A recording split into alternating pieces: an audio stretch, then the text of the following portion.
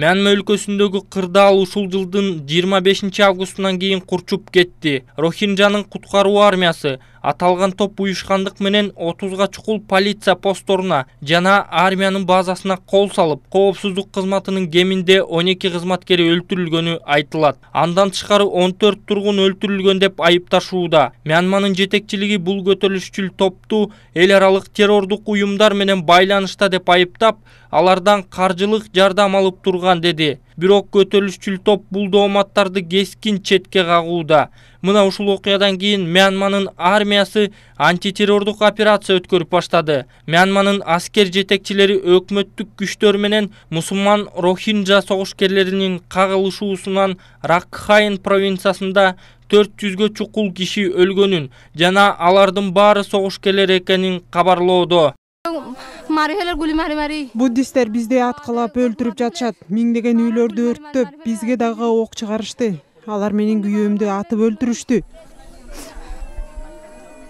журналисттердин бул провинцияга баруусуна чектөөлөр бар. Ошондуктан бул сандарды ырастап же жокко чыгарып так сандарды айтууга өтө кыйын. Буунун качкындар иши боюнча комиссарлыгы болсо үчүнчү сентябрга карата мянмадан бангладешке жер которууга аргасыз болгон рохинжа мусулмандарынын саны жетимиш үч миң деп эсептеген буддисттер басымдуулук кылган мянмада диний азыкчылык рохинжа мусулмандарынын жалпы саны бир бүтүн ондон үч миллиондун тегерегинде. Бирин бирин айыптоо учурда эки жааматтан тең айтылып жатат. Мага алтын же акча берген күндө да ал жерге барып кайра жашабайм. Ал жерде мусулмандар жок болсо гана барам. Мусулмандар турганда барбайм. Менин жүрөгүм сыздап турат. Өткөн жылы менин күйөөмдү өлтүрүшкөн.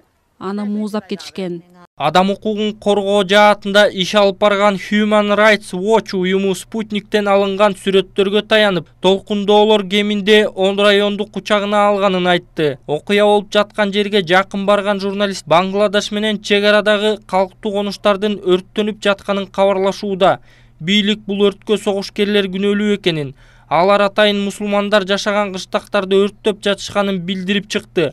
Бирок бангладешти көздөй качкан мусулман рохинжалар өрттү мянмалык аскерлер койгонун ал эми жинденген буддисттер үй жайларын талкалап жатышканын айтып беришүүдө мянма бийликтери өз тарабынан бул үчүн рохинжалар арасынан чыккан козголоңчуларды айыптап алар дал ошол жыйырма бешинчи август күнү ондогон полиция бекеттерине жана армия базасына координацияланган кол салуу жасаганын билдирүүдө.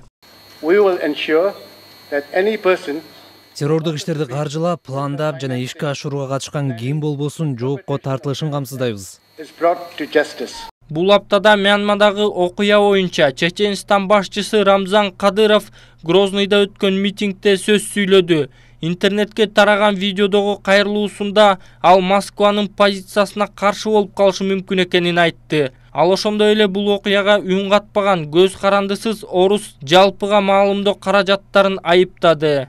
Мы с вами собрались на митинг бүгүн бул аянтта миңдеген чеченстан республикасынын жана чет жактагы аймактардан келген коноктор турат биз бүгүн чогулганыбыздын себеби мьянмадагы мусулмандарга кылынып жаткан геноцидке каршы туруш үчүн чогулдук акыркы жарым кылымда жер шаарында аскердик салгылашуулар болуп миллиондогон адамдардын өмүрлөрү кыйылууда бирок адамзат мындай өлүмдөрдү жана кордоолорду көрө элек эле миңдеген ракка штатынын жашоочулары кордук көрүшүүдө адамзатка каршы кылмышты иликтөөгө жана күнөөлүүлөрдү жазага тартууну талап кылабыз. Чек араларын жаап качкындарга жардам берүүдөн баш тарткан өлкөлөрдү жоопко чакырууну талап кылабыз. Миллиона мусульман. Их жалкие жилища горят в огне грозныйдын борборунда миңдеген киши митингге чогулган. Ушундай эле митинг үчүнчү сентябрда москванын борборунда болуп жүздөгөн мусулмандар мянма элчилигинин алдына келди. Москвада тартип коргоочулар жолдорду тосуп кырдаалды көзөмөлдөп турушту. Митингчилер намаз окуп сыйынуу менен аяктады. Кыргызстанда болсо мянма менен футбол матчы болбой калды. Кыргызстандын премьер министри сапар исаковдун чечими менен бешинчи сентябрда өтчү кыргызстан мянма футбол матчы токтотулду.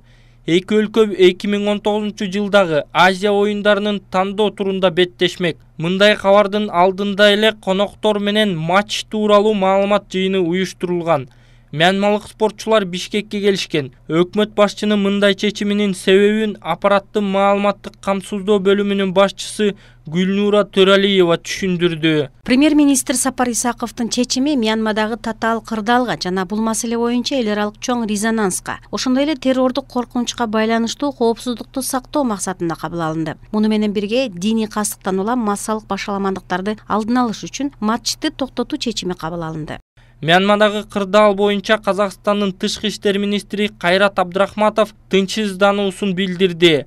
Казак басылмалары жазгандай мьянмадагы мусулман коомчулугу боюнча биз олуттуу тынчсыздануубузду билдиребиз деп билдирген министр.